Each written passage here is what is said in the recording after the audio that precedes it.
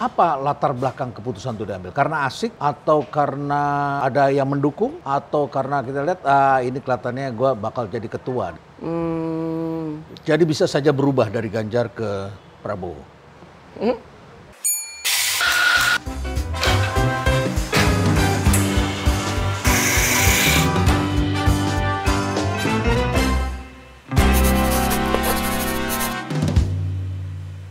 Bro Giring, siap Prof. ini luar biasa sekali. Biasa dipanggil juga Bro Tum. Jadi di PSI ini semuanya disebut Bro and Sis. Bro and sis sama ada satu yang Big Bro, yaitu Dewan Pembina kita Jeffrey Giovanni. Dia cuma salah satu orang yang dipanggil Big Bro. Saya jadi ingat dulu pada waktu saya masih muda kerja di grupnya Kompas ya. Di grupnya Kompas itu semua orang dipanggil Mas and Mbak. Mbak. Ah, Nah, yang dipanggil Bapak cuma satu orang, Pak Yako pertama. Pak Yakub. Oh. Utama. Jadi ini big bro-nya itu adalah Jeffrey, Jeffrey ya. Giovanni, Jeffrey iya. Giovanni dan nggak tampil ya Jeffrey ya sekarang. Bang JG itu benar-benar ngasih kita platform yang namanya PSI untuk silakan kalian anak muda berdiskusi, berdebat, berkreasi, Terserah pada mimpi kalian. terserah pada mimpi kalian. mimpi katanya adalah kunci, kunci ya, untuk menaklukkan dunia. untuk menaklukkan dunia. Jadi caranya adalah berpindah dari tadinya selebriti sekarang menjadi politisi. Insya Allah negarawan lah nanti. Negarawan. Iya tujuannya dong. begitu. Iya, biar kayak Prof dong. Ini sementara atau seterusnya? Seterusnya dong. Seterusnya. Seterusnya. Jadi apa makna yang disampaikan pada ulang tahun kemarin? Eh selamat ulang tahun ya. Oh ya, terima ulang kasih, tahun terima ke-40 kasih. ya. Selamat ulang tahun, panjang umur dan semoga apa yang diimpikan tercapai semua. Amin, amin. Ya. Jadi apa ya? Itu refleksi ulang tahun, tapi kemudian akan mengembalikan kepada pemiliknya. Padahal kan masih baru sebagai ketua umum.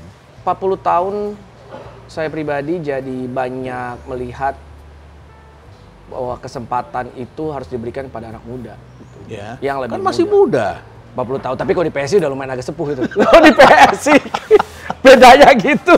Kalau di PSI sih muda semua, Prof. Jadi kalau kayak kita tuh udah udah udah expired ya. Kalau enggak lah, expired. Saya, I'm not saying that. You're saying that kan.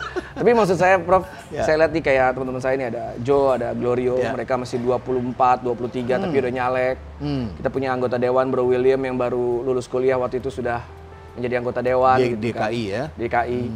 Dan saya rasa saya jadi refleksi bahwa it's time to give back lah. Saya sudah bikin platformnya, bantuin memperbaikinya. Tapi baru berapa lama jadi ketua umum? Loh, justru kita kan hanya satu periode, 4 tahun, 5 tahun. 4 tahun, 5 tahun. Berapa tahun sekarang udah jadi Sekarang ketua kan umum? 2020 PLT. Sekarang udah mau tahun keempat, iya kan. Mau tahun keempat? Iya. Oh, oke. Jadi siap-siap. There are so many things that we, lagi. I, have, I already built kan di Ya. dalam PSI. Ya. Media sosialnya, sekolah kader, kita bangun bareng-bareng. Walaupun memang masih banyak harus diperbaiki, but I think it's time to give back now. Karena saya percaya bahwa anak-anak muda itu harus dikasih kesempatan. Di bisnis, anak-anak muda ada keren zaman sekarang. Di eh, science, wah udah luar biasa. Di social media udah, wah udah paling topnya lah. Tetapi di politik harus lebih banyak lagi anak muda-anak muda yang masuk ke politik dan juga kita kasih kesempatan. Dan barrier dari anak muda ma- nggak mau masuk ke politik itu kan so barrier utamanya lah mahar, Nggak punya uang. Nggak Nggak- punya wow, uang. mahal sekali. mahal sekali. Mahal sekali. Untuk nyalek perlu minimal 10 miliar itu paling murah itu ya. Betul ya? pada dasarnya kalau kita di PSI agak beda ya mainannya Iya. ya. Jadi ketika kita mau masuk mau nyalek aja, caleg-caleg kita kan nol mahar, nggak usah bayar. Ada yang diuji, ada yang di apa namanya dikasih tugas. Begitu lihat bahwa oh mereka deserve, mereka baru boleh nyalek. Itu Kita lihat juga apakah mereka pernah terlibat kasus korupsi, apakah pernah terlibat kasus kekerasan seksual, gitu. Jadi benar-benar diseleksi. diseleksi. Ketika keputusan diambil menjadi politisi, berapa lama? Saya tanya Pak Helmi Yahya, saya tanya teman saya Helmi, Mi, lu berapa lama mi- mikirin? Ya kasih gue waktu tiga bulan kata dia.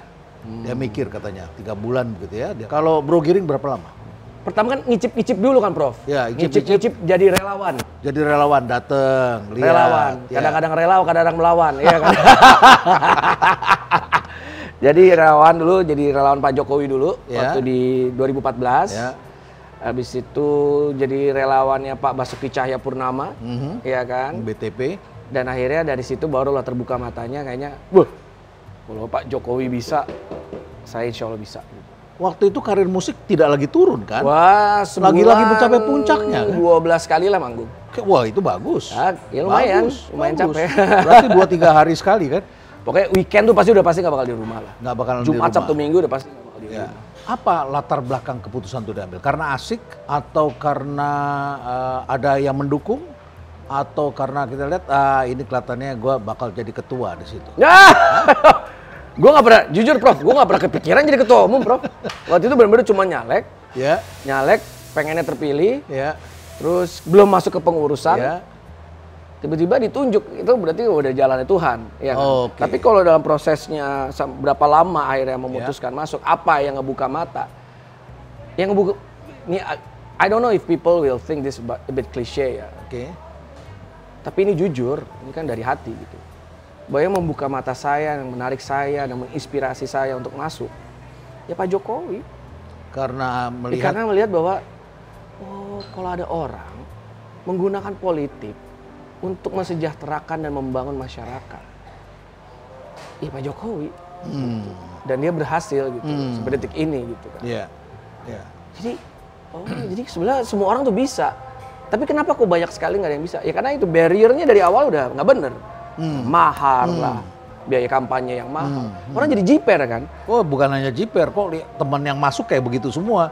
Nanti kita disamain dengan mereka kayak begitu. Kata Helmi kepada saya, dia pernah jadi pengurus di partai. Setiap rapat partai katanya IQ-nya turun dua dua dua level katanya. Tapi Bang Helmi sih selama sekarang jadi memimpin eh, tim digital PSI, Ya, ya kita terus berbenah lah.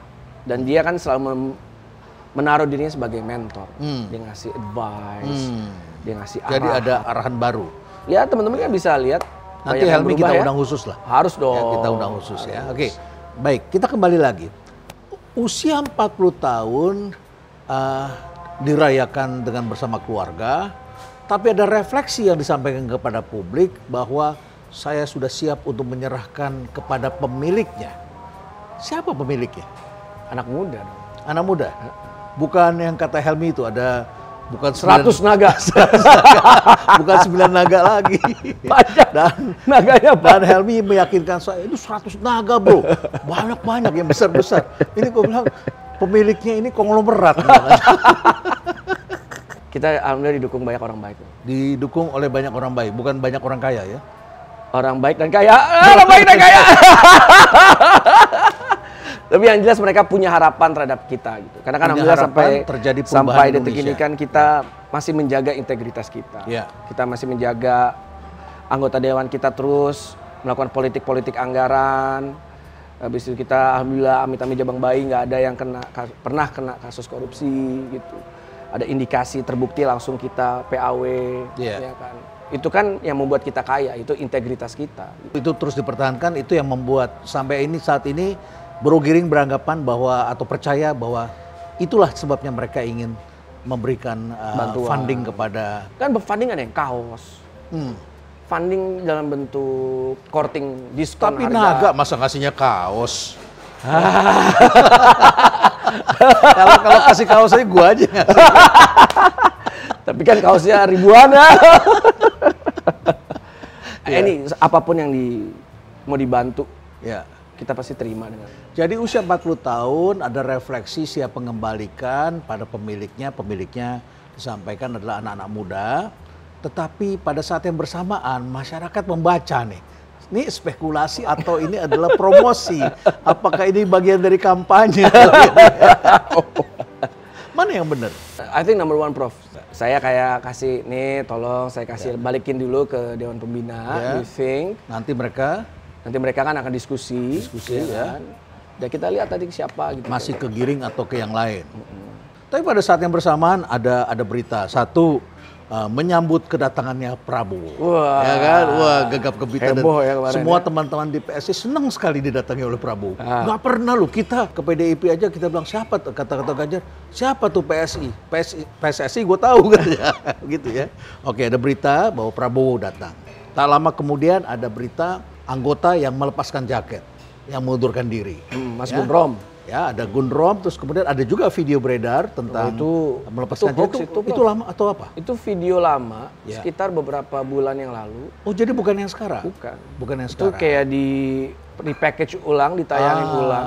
oke. Dan kasusnya adalah di Palembang mereka ini adalah orang-orang yang kita le kita pecat Oke. karena minta mahar. Calon anggota dewan ya, bacalek bacalek ya. Bacalek, bacalek. Iya. Akhirnya kan itu nggak sesuai dengan DNA partai. Akhirnya kita evaluasi, kita pecat, dan mereka juga tidak mau punya apa ya, tidak mau konsolidasi juga dengan tingkat Tahun provinsi. itu ya? Sebulan satu setengah bulan. Jadi kejadian itu tidak ada hubungannya dengan yang ini. Ada. Oke. Tidak ada hubungannya dengan refleksi ulang tahun. ya. Kemudian juga uh, masyarakat melihat kok sekarang Giring jarang ngomong, padahal dulu waktu baru-baru galak sekali. ya. Tapi sekarang jarang ngomong, malah yang muncul sekarang Grace Natali kembali. Nah, kemudian yang bicara selalu adalah Grace saat ini, bukan lagi Giring. Jadi orang bertanya, ada apa ya di dalam? Apakah karena juga sebagai rasa tidak terima melihat Prabowo yang disambut. Sehingga kemudian berefleksi kalau begitu saya mundur aja deh. Wah, enggak lah. Enggak, Enggak lah. enggak begitu ya? Enggak, enggak kayak gitu. Enggak begitu. Sis Grace itu kan satu pendiri partai. Iya. Kedua, secara organisasi dia lebih di atas saya kan. Ya. Wakil ketua Dewan Pembina. Adabnya memang harusnya seperti itu. Saya harus step back ketika ada pendiri partai dan wakil ketua Dewan Pembina yang yang berbicara menyampaikan sesuatu. Itu Asik. culture ketimuran yang harus kita jaga juga kan, Prof. Jadi tidak ada masalah di situ. Jadi nggak ada masalah dong sebetulnya. Memang gak ada masalah. Ya biasa spekulasi-spekulasi. ya. Tapi untung lucunya Prof, ini diundang pas banget semua lagi dadar-dadar gitu ya. Tapi ini keren ini ya. Bagaimana terus menjaga engagement dengan audiens ya. Kemudian audiens dibikin berdebar-debar dan melihat gitu ya, membaca dan lain sebagainya. Ya, baiklah. Tapi di awal PSI lah yang pertama kali ngomong calon presidennya adalah Ganjar yang pantas. Jeng jeng. Ini karena baca Pak Jokowi. Pak Jokowi kelihatannya ke arah si rambut putih yang bekerja keras. Jadi struk apa ada sistem di kita. Ya. Waktu itu kita bikin namanya rembuk rakyat nasional. Di mana kita meminta eh, DPW, DPD dan DPC untuk submit nama. Ya. Siapa kira-kira calon pengganti eh, yang cocok lah untuk meneruskan Pak Jokowi.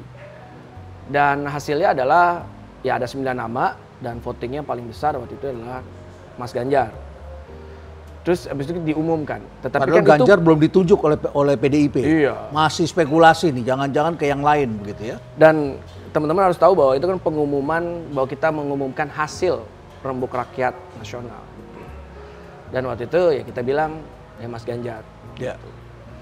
Oke, jadi itu adalah keputusan internal pada saat itu. Kita mau tanya lebih jauh, tapi saya mau pesen kopi dulu. Kita pesen Boleh kopi dulu, boleh dong ya? Ya.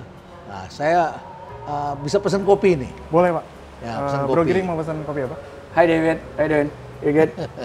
Selamat Halo, datang David. di Cafe Brizi pak. Ya, makasih. Americano dong. Amerika. Americano. Saya mau kopi inspirasi. Kopi Kopi inspirasi. inspirasi, satu. tapi agak sedikit agak sweet sedikit. Susu nggak? Pakai Hah? susu? ya? Ada susunya, nggak bisa. Oh, saya kalau kopi susu Gastrik. Bu, bu, bu, gastrik. Gastrik. Oke, baik. Saya mau coba kopi inspirasi. Saya suka kopi hitam dan pahit. Wah, luar biasa ini. Masih muda memang harus begitu ya. Seharusnya saya udah mengurangi gula juga.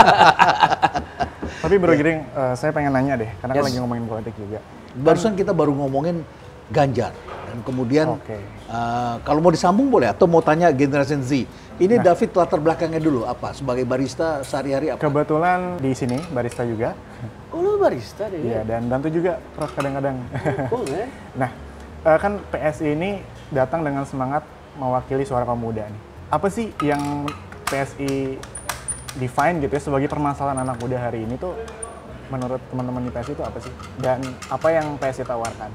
Nih ya kalau Bro David kalau gue lihat ya persoalan persoalan anak muda itu di zaman sekarang itu berbeda sekali waktu zaman kita muda ya Prof ya. Dulu we have the same common enemy yaitu maaf to say ya, but corruption dalam tingkat pemerintah yang rezim yang sangat-sangat opresif ya. Orde baru pada saat Ah. itu militeristik ya, pada saat itu ya. Sekarang enggak. Sekarang kayaknya tantangan anak muda zaman sekarang gimana caranya bisa healing, gimana punya work life balance yang enak, gimana punya Sukses jaminan di usia kesehatan, muda. sukses di usia muda, lapangan pekerjaan, ya kan. Dan inilah menurut gue yang harus kita perjuangkan sih sebetulnya. There are so many things yang harus kita perjuangkan. Makanya kenapa kita ngomongin terus tentang BPJS gratis. Kenapa kita ngomongin tentang pendidikan itu harusnya murah dan kalau bisa gratis. Kita juga ngomongin juga tentang seharusnya pemodalan itu harusnya bisa dirasakan dari Sabang sampai Merauke gitu kan. There's so many things yang bisa kita lakukan karena melihat mereka sekarang anak muda zaman sekarang emang sukanya diberikan kesempatan kesempatan liburan, kesempatan berpendidikan, kesempatan untuk sehat, kesempatan, chance. Bener nggak anak muda itu uh, bahagia dulu baru bekerja? Kalau generasi saya, kita kan generasi saya nih kerja keras dulu, baru lu bahagia. Ada juga yang nggak dapat bahagia di ujungnya, nggak bahagia. Tapi uh, kalau anak sekarang kan kelihatannya bahagia dulu, makanya tadi kesempatan traveling disebutkan. Dulu mana ada kita berpikir? ada. Ya kan? Dulu Palingan cuma ke Carita, ke Anyer. Karang Bolong. Karang Bolong. Karang Bolong sama Maribaya. Maribaya di, di Lembang. Dulu Dikit-dikit Dufan. sekarang wah Turki. Uh, Tokyo. Ke Disneyland Tokyo kayak ke Singapura zaman sekarang. Iya kan? Dulu ke Singapura, wah. Nontonnya Taylor Swift ngantri tiket war di Singapura. Coldplay begitu nggak dapat Indonesia, langsung ke Singapura. ya. Langsung ke Ya. Singapura. Oke, bener nggak begitu? Tapi emang bener sih Pak, karena kita ngutamain mood kalau kerja tuh. Yang penting moodnya oke dulu, terus eh, ngopi dulu mungkin ke cafe, baru kita semangat lagi kerja. Ada satu, gue tambahin David ya. Iya. Ini bener gak nih Gen Z nih? Ada the sense of fear of missing out. Fear of missing out, FOMO. FOMO. Karena apa? Efek dari social media. Jadi kalau ngeliat temennya, David lagi buka, wih, kok dia bisa kerja di Bali sih? Wah langsung stres. Aduh kapan gue bisa kerja di Bali? Habis itu, wih, dia kok menang tiket World Coldplay? Wah langsung pusing. Wah gue harus kincur tiket Insecure lah dia ya. insecure gitu kan. Karena apa? The fear of missing out-nya itu kan. Dan ini yang menurut gue juga harus kita bisa address ya, as a nation harus kita regulate. Bukan regulate dengan keras ya, tapi justru kesempatan-kesempatan ini harus kita perbaiki. Gitu. Lalu apa yang teman-teman di PSI tawarkan ke teman-teman Gen Z gitu dalam dari segi entah Dari program, sisi yang mana dulu ya coba di di mungkin gagasan program yang yang konkret gitu yang ditawarkan ke Sekarang kan memang salah satu perjuangan kita kan yang PSI menang BPJS gratis itu kan Prof. Perjuangannya itu BPJS gratis. Apa anak muda memperhatikan BPJS atau minta asuransi? Loh, anak muda tuh setelah Covid Ya. mereka itu agak terbuka dengan health conscious and then spiritual consciousnya mereka jadi agak lebih tinggi tuh. Concern pada kesehatan sangat tinggi. Iya, concern kesehatan, concern spiritual mereka happy. Makanya dulu kan zaman kita mana ada, Prof. Kita ngomongin Tapi BPJS health. ya, BPJS yang BPJS mau gratis. gratis. Iya. Maksud saya kan anak-anak muda suka gengsi, maunya asuransi katanya. Kalau saya kita sih ngerasa bahwa kita kan melihat harusnya kan hak itu Hak, yang diberikan negara. hak diberikan negara, untuk itu memberikan asuransinya Kalau dia BPJS. punya uang tambahan, Ya. ya boleh. If you have more, silakan pakai asuransi. Jadi nggak perlu bayar iuran lagi. Nah nanti ke, ke depannya nggak usah bayar iuran lagi. usah bayar iuran. Jadi masyarakat yang miskin, Ini buat anak muda aja atau orang No. tua juga? seluruh Indonesia. Jangan sampai kita yang yang senior gak dapet begitu ya. Seluruh Indonesia, pokoknya Seluruh semua Indonesia. rakyat Indonesia.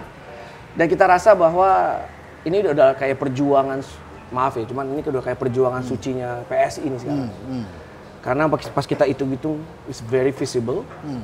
Tetapi kenapa tidak ada politisi lain atau partai lain yang mau memperjuangkan ini, tidak memiliki the political imagination and the political will to to fight for this gitu. Nah, habis kalau bisa kita sukses dari situ baru kita akan mengawasi dan memperbaiki terus pelayanan kesehatan. Gitu. Itu kan yang satu kalau kita dari sisi kesehatan. Kalau dari sisi kesempatan atau industri kreatif dan yang lainnya mungkin panjang sekali ini nggak kelar-kelar nanti Iya. podcastnya. Iya. Oke deh, lanjut dulu. Lanjut, Dan juga oke. Mas Giring ya. Baik, Jadi ya. isu anak muda ya penting sekali karena anak muda 52% dari pemilik I thought it's pemilih 60 depan. ya. Almost 60 ya. Almost 60. Bisa dibayangkan dan mereka sebagian barangkali juga adalah swing voters barangkali. Oh yes. Ya. Mereka tuh satu swing voters karena kadang-kadang ini kadang saya ngerasa gini ya, Prof. ya. Ketika saya ngobrol sama ibu saya, betapa dia paniknya ngelihat WhatsApp grup beberapa hari ini. Wah, thank you David. Yang sampai nelfon. Sayang, kamu gimana? Kamu gak kenapa-kenapa? Karena begitu banyak surat kaleng yang beredar di Makasih, WhatsApp grup WhatsApp grup yang kita tahu bahwa itu semua hoax gitu kan. Terus kalau saya lihat ke anak-anak muda, I don't think they care. bagi mereka aman. Bagi generasi lama, kebebasan itu mewah sekali. Kita ngomong sembarangan, dulu kita hilang besoknya. besoknya hilang. Sekarang Ya, nggak. Kalau sekarang, kalau orang seperti teman kita yang satu itu ngomong Rocky- seperti itu Rocky berani, ya, berani. Buat kita sebetulnya biasa aja bagi anak-anak sekarang. Itu bukan suatu keberanian, biasanya sopan santunnya saja barangkali Iya. yang dipersoalkan. Kayak anak zaman sekarang kalau kita ketemu di coffee shop, kita lihat, lihat mereka tuh kayak mereka hidupnya Enteng aja ya. enteng aja ya, Prof ya. aja ya. Ada kemarin yang saya lihat waktu bareng sama Bang Helmi ya. Attitude ya. Ya. Saya suka banget kata-katanya dia, kita dibilang, kenapa banyak sekali startup-startup zaman sekarang yang waktu itu di, wah dihembo, oh kayaknya masuk ke dunia startup tuh keren banget, tapi semua fail. Over promise.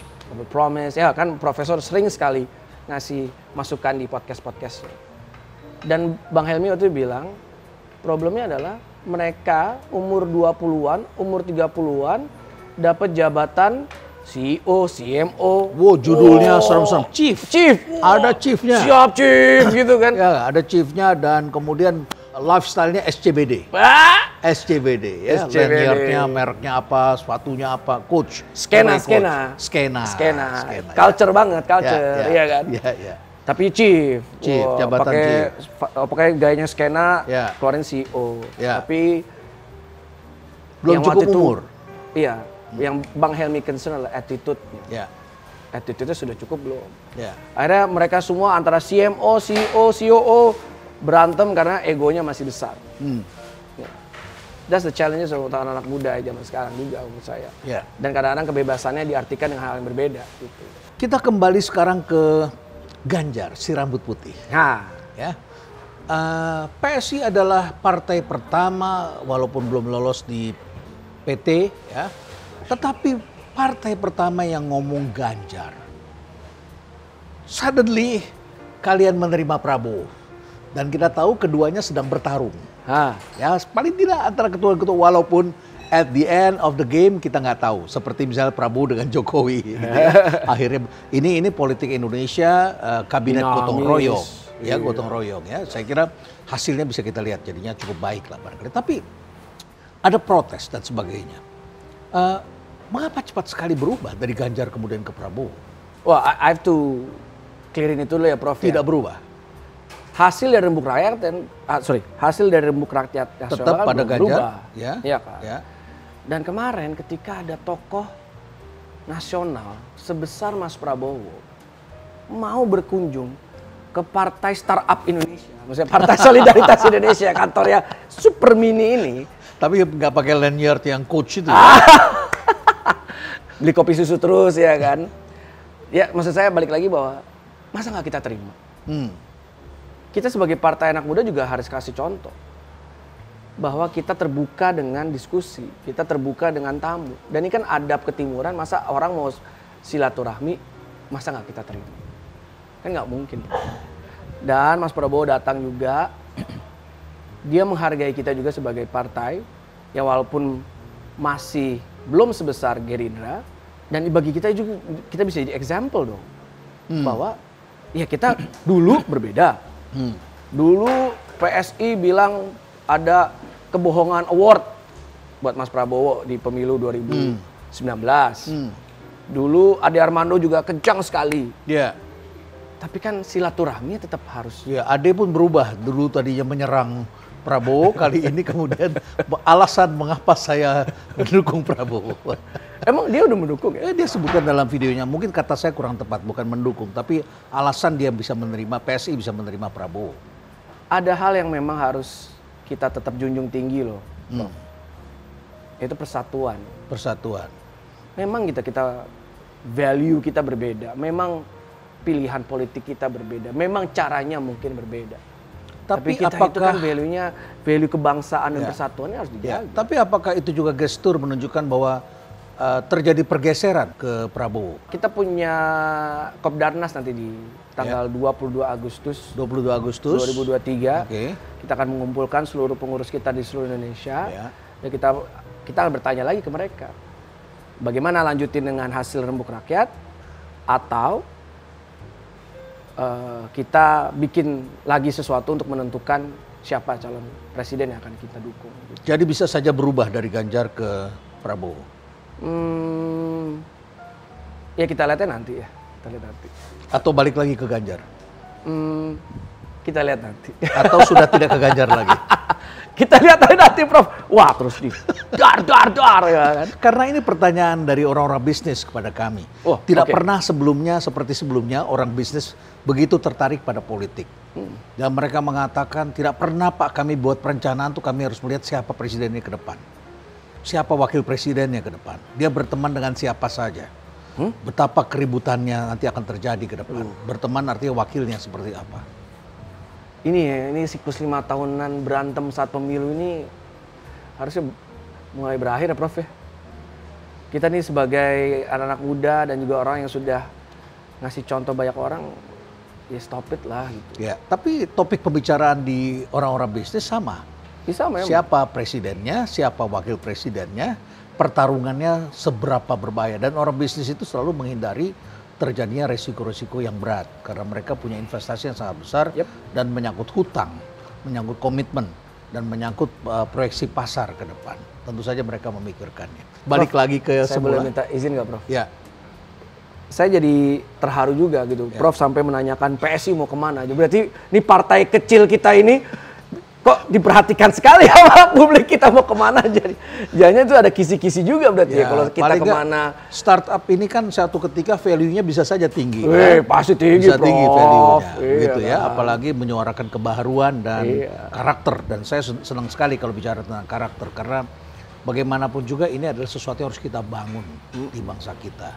Jangan diteruskan cara-cara yang tidak baik, yaitu jual beli mahar, kemudian jual beli perahu, ya dan lain sebagainya. Kemudian akhirnya menimbulkan korupsi ketika terpilih.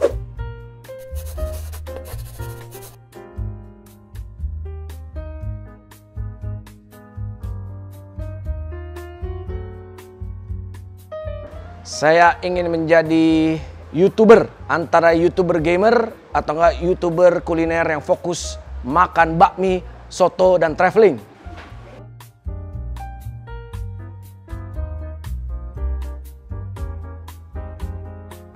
Satu, bisa terbang. Kedua, gak bisa ditembak. Maksudnya kebal, kebal, tekbal, tekbal. Ketiga, kaya. Loh, powernya Batman itu kan kaya. Hmm, kaya raya.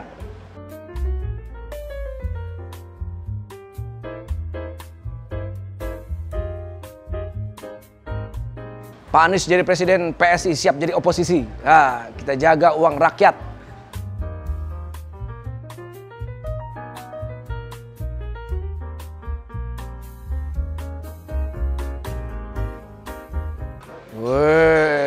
Sebelumnya terima kasih dulu karena sudah diberikan kesempatan untuk jadi menterinya. Sesuai dengan passion, ada beberapa kementerian yang saya pasti cocok untuk saya kerjakan dan saya bertugas untuk negara. Satu, Kemenparekraf dan dua, Menpora.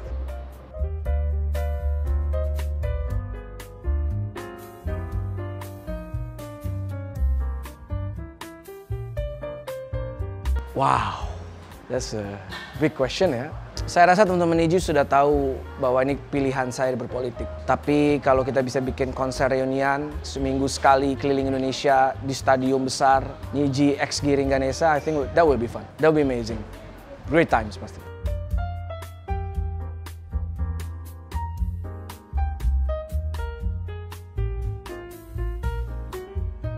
Ya korupsi lah pasti.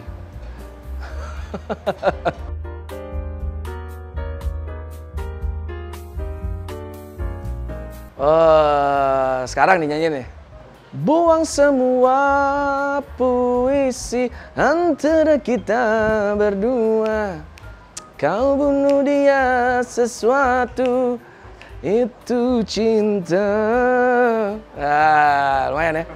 Bisa masuk Indosiar lagi nih.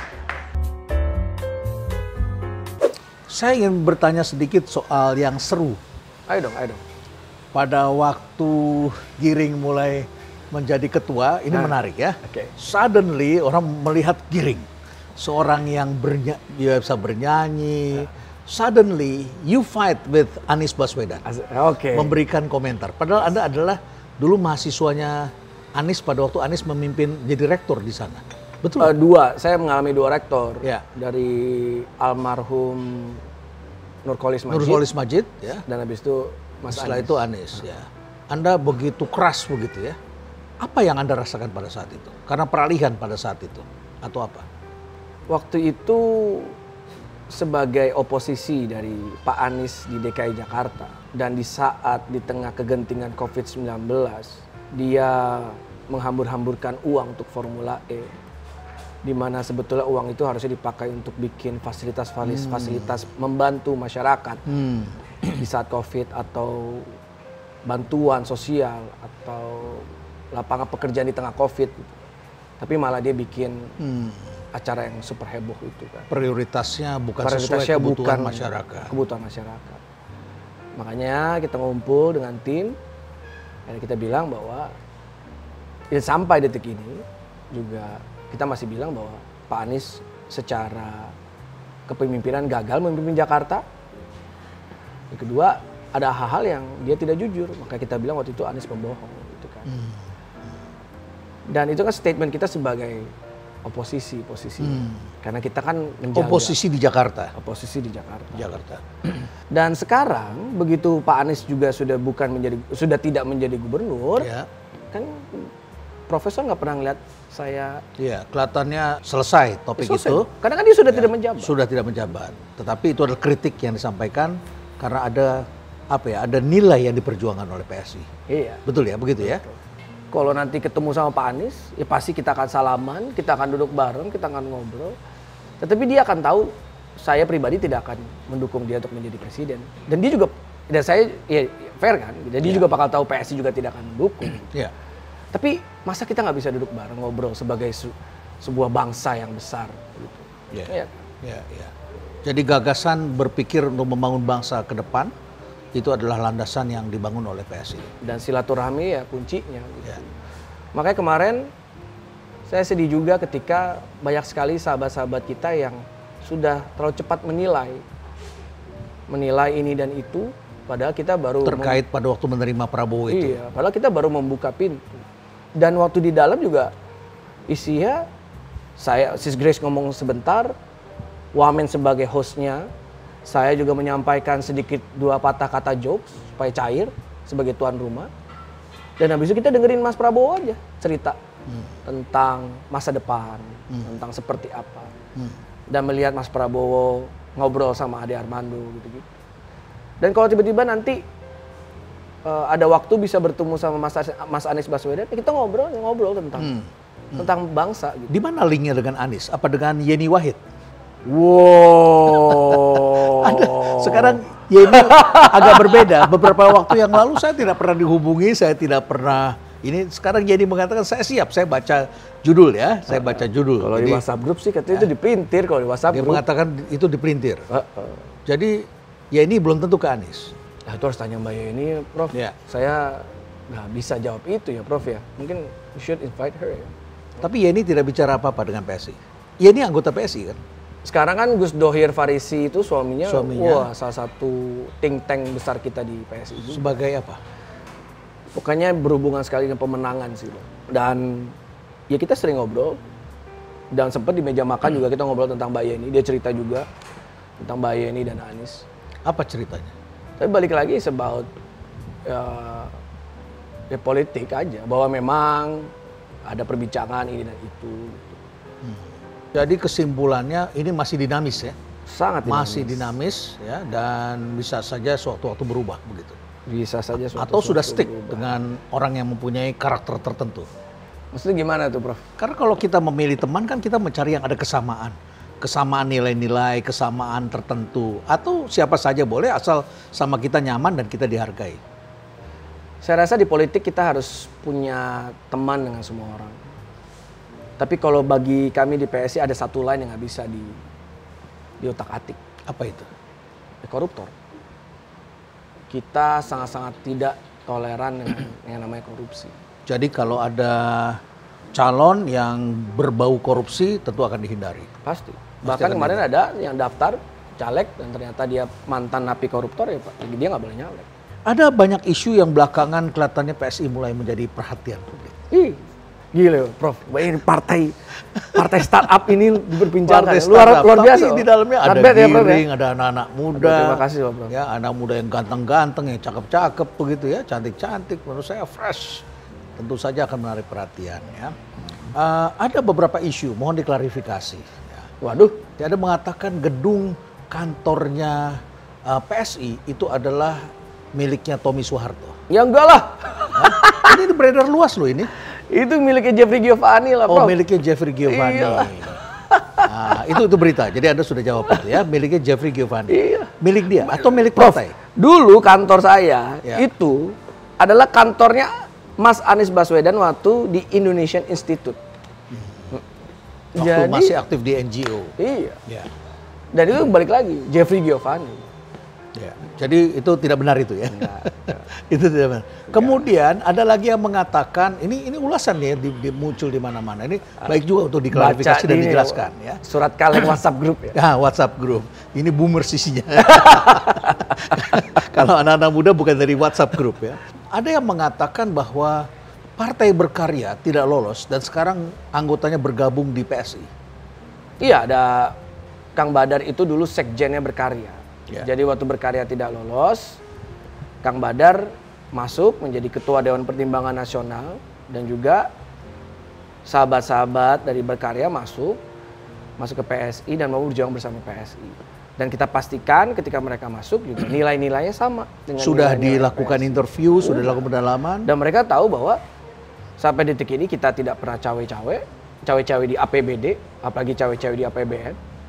Mereka tahu bahwa ini partai beda sekali dengan partai mereka, sangat egaliter. Mereka juga awal juga agak kaget-kaget, di mana ketua umumnya bisa dengan santainya nongkrong bareng mereka, ketua dewan eh, wakil ketua dewan pembina bisa hang out dengan mereka. Jadi mereka harus awal-awal harus mencoba untuk mengikuti mengikuti pola dari partai. Berapa ini. banyak anggota partai berkarya yang bergabung? Hmm, well, I have to find out ya. Jadi kalau kita beli perusahaan baru kan karyawannya ikut kita semua. Tapi kan nggak semuanya ikut. Nggak semuanya ikut. 10 Karena kan ada ada yang sudah ikut partai lain, Ya. Ada 10 ada yang masih di berkarya. Oh, I don't know, I don't know. I don't, know, I don't know persis the exact number. Tapi tokoh-tokoh sentralnya seperti Kang Badar sih ada di. Ya. Sebelumnya atau pada saat yang bersamaan juga mendirikan kincir.com. Betul ya? That was 2012 ya. Oh, sudah cukup lama dong. Berarti jauh sebelum bergabung di partai. Jauh sebelum itu. Ah, apa kabar kincir.com? Oh, doing good. Doing good. I think sekarang di industri e-sport, saya sih bangga sekali bahwa Kincir eh, sebagai salah satu pengada perlombaan e-sport terbesar di Indonesia. Sebagai shareholders di sana. ya. Dulu kan founder, CEO, chairman, habis itu shareholder. gitu sih. Setelah jadi ketua umum kan, Ya. ya itu kan saya nggak mau mereka terhambat juga bisnis ya kan. Ya. Baik, jadi kita sudah bertanya sejumlah hal. Jadi pertama kita bisa simpulkan, jadi tadi eh, akan menyerahkan kembali kepada pemiliknya, artinya pemiliknya itu adalah anggota, Anak muda. anak muda. Yang kedua, bukan berarti ingin meninggalkan karena merasa frustasi. Ya enggak loh. Tidak ya? Justru aura kemenangan ini sudah ada di depan mata. Wah, senang saya melihat anak muda yang kayak gini. Bukan anak muda yang gampang dipenyet-penyet, yang sakit sedikit kemudian uh, komplain. Tapi juga barangkali tadi sudah disampaikan bahwa menerima Prabowo karena Prabowo berkunjung, belum memutuskan apakah ke Prabowo atau kepada yang lain. Dan dan senangnya abis dari momen itu kan jadi terbuka. Bisa nanti saya kan juga sudah mereply Mbak Puan, kita siap datang ke Dan disambut markas oleh Puan. besar PDIP. Ya tinggal lagi sekali lagi diatur. Ya. Habis itu nanti ada follow up lagi ke Hambalang. Dengan Ganjar sendiri tidak ada komunikasi? Saya sih belum pernah ngobrol sama Ganjar ya. Belum. Selalu ada. Tapi nggak sakit hati kan dengan Ganjar?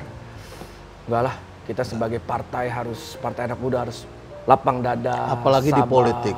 Ini politik. Apalagi di politik. Kadang-kadang kita bisa mengeluarkan kata keras pada mereka, kadang-kadang bisa sebaliknya terjadi. Iya kan? Begitu ya? Tapi ada momentumnya lah. Maksudnya momentumnya adalah ketika dia kerjanya nggak benar, dia korupsi, tugas kita di PSI untuk keras. Tapi kalau di luar itu, masalah isu-isu politik, komunikasi dan yang lainnya, ya nggak usah baperan lah Prof, santai aja. Bro Giring, terakhir, Anda tadi masih ingat lagu Anda yang tadi kita Laskar sedikit Pelangi. kutip, ya, Ah. Laskar Pelangi.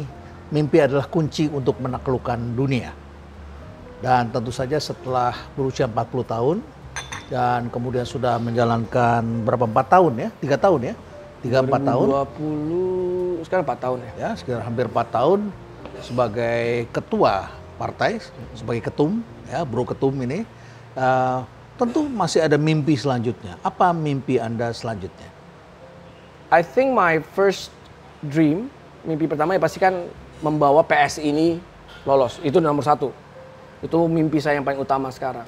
Lolos masuk ke parlemen. 1000 kursi seluruh nasional, 20 kursi DPR RI. Ya, 20 kursi DPR RI. ya. Tapi kalau mimpi besarnya menjadi presiden tetap salah satu yang Menjadi presiden Iya menjadi Republik presiden one day Indonesia. tetap salah satu yang saya pikirin. Tapi kan kita kan harusnya investment dari sekarang, Ya. ya kan. Kalau di sisi apa ya pribadi juga pengen reunian sama Niji, ya kan, bikin konser Oh, besar. ke mana mereka sekarang? Oh, keren. Sudah, sudah melanglang buana Oh, ke mana-mana. I'm so proud. Sekarang mereka kalau saya lihat manggungnya banyak. Oh masih, masih, masih ngeband. Kan Bukan ada baru. yang sudah keluar negeri, ada yang Enggak, enggak, enggak, semuanya masih ngeband. Vokalisnya baru, namanya Ubay, badannya kotak-kotak, sedangkan saya sekarang udah gini ya kan. Terus banyak bos, kita ini mimpinya banyak, punya multi layer of dreams, ya kan. Dengan ingin mendapatkan 20 kursi di parlemen, siapa yang Anda bidik untuk ditaklukkan? Saya melihat, saya membaca serangan orang-orang PSI itu antara lain pernah ditujukan kepada PDIP. Ya, suaranya tone-nya ke arah sana. Ya. Kalau Sehingga kemudian saya lihat suara orang-orang pemilih PDIP itu sebagian itu kelihatan di beberapa grup kita bisa lihat ya. Ah, gua sekarang mau begini katanya. Bisa kita bisa baca. Walaupun ketika terjadi kemarin banyak yang berkebalikan. Ya, mungkin karena mereka punya trauma barangkali. Ya. Tetapi untuk untuk mengambil itu karena ini ada berapa? 18 partai ya yang lolos ya. 18 partai. Kira-kira Anda ingin menggeser yang mana dari yang Wih. existing? Yang mana yang akan di- digusur? Pertanyaan ngeri-ngeri kali nih profesor kita ini ya. Yang jelas kita nggak nggak berniat satu, ya, Prof. I have to Ya. clear this ya. Tidak pernah dalam formal institusi kita, jubir kita, ketua DPP kita, siapa pun yang official, pengurus atau ada statement official dari partai yang kita menyerang PDIP. Tidak ada. Kalau ada itu berarti memang kader kita aja gitu. Individual, Individual. suara individu. Suara individu. Itu harus di Jadi ini penting untuk Harus dipahami oleh teman-teman dari PDIP. Ah. ya. Justru kita ini sebagai partai adiknya ya kita mau belajar sama partai besar dan kita tidak berniat untuk menggeser atau gimana. Kita mikirin menang dulu nih. Baik. Kita mikirin masuk dulu 4%. Ya kan? Fokus dulu dapetin 15 juta suara. Itu dulu deh. Langkahnya ke sana. Clear ya. Baik. Terima kasih Bro Terima Giring. kasih, Prof. Saya tidak menyangka ternyata saya bertemu dengan seorang selebriti yang ternyata pikirannya jauh ke depan dan saya berpikir kita hanya bisa bicara yang ringan-ringan. Saya Ternyata boleh minta izin ya? Giring ini bisa mengucapkan dan bisa membaca hal-hal yang tidak kita bayangkan. Saya kan ya. ngefans banget sama Prof. Saya kan nontonin YouTube-nya Rasanya Prof. terbalik deh. Saya nih yang Di mana saya bertanya-tanya Prof, itu buku-buku apa nggak diganti belakangnya Prof? Perhatikan ya tim produksi. Ini rak buku saya katanya harus diperbaiki atau diganti Tapi kan itu lain, green screen, green screen, green ya. screen, ya. Jadi Ya. please saran Baik. gantian kan? Ya. Saran saya untuk PSI. Yes please. Saran saya untuk PSI yang pertama tentu saja adalah merit system ini harus terus dilakukan. Agree. Dan seleksi orang artinya eh, bidik jangan hanya sekedar menerima secara pasif, cari orang-orang yang punya kepribadian, lengkapi dengan pembina dan perkuat terus dengan anak-anak muda. Karena menurut saya nanti yang saya khawatirkan anak-anak muda ini bisa mengadili orang-orang tua. Karena Maksudnya sekarang sudah mulai terjadi misalnya saja anak-anak muda ini melihat orang tuanya punya pelihara binatang burung di kandang dan anak muda bilang lepas orang tuanya kemudian sering menyiksa anjing karena melihat agamanya barangkali. Oke. Ya, anak-anak muda bilang mau anjing mau kucing tidak boleh disiksa. Anak orang-orang tuanya menebang pohon, anak-anak muda mengatakan tidak boleh pohon ditebang. Oke. Jadi anak muda mempunyai aspirasi ke depan karena mereka sangat terdampak oleh perubahan iklim Yes. ini. Jadi perhatikan pada aspek environment Yes. dan social. Ya, bagaimana gap sosial ini jangan sampai kemudian uh, menjadi perpecahan. Dan yang terakhir adalah tata kelola. Bagaimana What, what do you mean tata Ya, kelola? tata kelola ini adalah masalah korupsi di korporasi, bagaimana spending uang dengan tidak benar, dan kemudian mengambil keputusan yang bersifat merugikan masyarakat.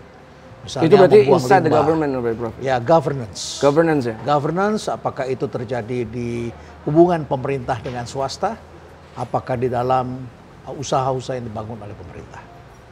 Wow. Tema-tema ini saya kira akan menjadi penting tema. Menurut saya tema anak In, in muda. just five minutes, you just give me a lot of homework, Pak. Ya karena ini jadi berkebalikan nih. Kalau ketemu anak muda nih saya yang diinterview oleh anak muda.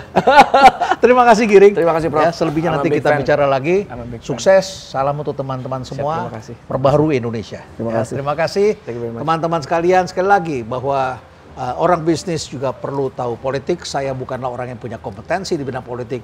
Pertanyaan saya adalah pertanyaan yang mewakili banyak sekali orang-orang bisnis, orang-orang eksekutif di perusahaan-perusahaan, di BUMN dan di pemerintahan uh, pusat maupun daerah yang bertanya bagaimana ke depan wajah Indonesia dan apa yang tengah terjadi di dunia politik dan mereka ingin tahu. Barangkali itulah pertanyaan-pertanyaan naif saya. Mohon dimaafkan kalau hal-hal yang kurang berkenan. Oh, seru. Ya, tapi mudah-mudahan inilah yang membuat Indonesia menjadi semakin lebih kuat. Stay relevant.